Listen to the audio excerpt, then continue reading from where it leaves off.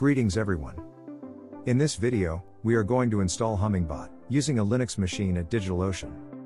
This will be a Docker type installation, which is the easiest method. DigitalOcean is a popular cloud service solution, since it is very easy to use. Please note that you need to key in your credit card details before you can use the service. After that, your account will be credited with $100 as a signed up bonus, which will expire in 60 days. Let us get started. We start by creating a droplet or a cloud server. We clicked on create and then selected droplets. For the image, we selected Ubuntu 22.04. For the plan, we selected Basic. For CPU options, we selected Regular with SSD. We selected $48 per month. To maximize $100 credit for 2 months. For data center region, we selected New York. For authentication, we selected password. And then, we typed our password. Please note, to comply with all the password requirements. For the host name, we are calling it Hummingbot01. And finally, we clicked on Create Droplet button. Please wait for a few minutes. DigitalOcean is now spinning up the droplet or cloud server. Alright. DigitalOcean's cloud server setup is, indeed, quick and easy. Now, our cloud server is ready. We need to take note of its IP address. The next thing we need to do is connect to our DigitalOcean's droplet. For that we will be using the Solar Putty SSH tool which is available in Windows. If you need some guide on how to use this tool, please let us know in the comments below. So, in Solar Putty, we have set up our credentials, using the droplet's IP address, and password. Now, we simply double click, to connect to our droplet. Before proceeding further, for reference, we will start following the installation steps, as described in the official Hummingbot documentation. We are now visiting this documentation page. We navigated to Installation section. And then to Docker. We then scroll down a little bit to Linux section. Alright. Now, we can then proceed to install Docker and Hummingbot within our Linux droplet. Let us begin the Docker installation process.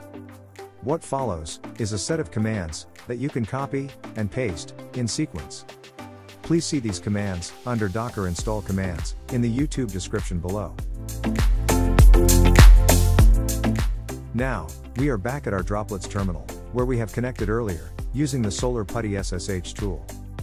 It is time for us, then, to execute the commands. The first command is about downloading the script, so we can install Docker in step 3 below. The second command is for changing the permission of .sh file to enable the script in our system. And finally, the third command is for installing Docker. The Docker installation process will take 2 to 5 minutes to complete. So, I will be back shortly after Docker installation is completed. Alright. Docker installation is completed. We can check it with this command, docker dash dash version. Before we proceed with Hummingbot installation, we need to update and upgrade our Ubuntu system. Please use the command you see on screen.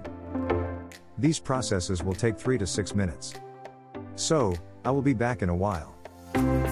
Up next is the Hummingbot installation using scripts, which is the easiest method. Let us begin the Hummingbot installation process. What follows is another set of commands that you can copy and paste in sequence. Please see these commands under Hummingbot installation commands in the YouTube description below. The first command is for downloading the create script, which will allow us to create a Hummingbot instance. The second command is for downloading the start script, which will enable us to start Hummingbot instance that we have created. The third command is for downloading the update script, which will be used for updating to higher version of Hummingbot. Upgrading is scheduled at every end of the month. Finally, the fourth command is for changing the permission of .sh files to enable the scripts in our system. We are now ready to create our first Hummingbot instance. Let us create our first bot by using the create script.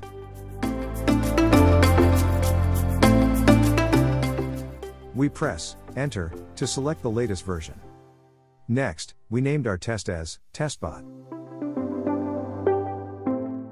Next, we press enter to accept the default name of the folder.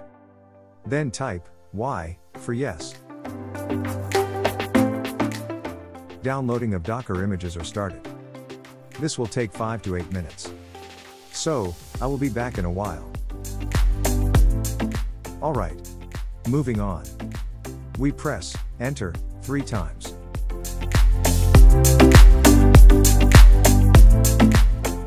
Then we type our password twice to confirm we entered them correctly. Be sure to remember it, as you will use it every time you start your bot. Then, we also just press enter twice to confirm the configs migration. That's it. We have fully completed the installation process. We are now in Hummingbot dashboard. Congratulations. You are now one of the smart crypto traders using Hummingbot as your market making and trading toolset. As a recap, in this video we have done the following. 1 created a new droplet or cloud server in DigitalOcean. 2. Installed Docker. And finally 3. Installed Hummingbot. If you have encountered some issues during your installation, please ask for assistance at our Hummingbot Discord server, specifically in Support channel.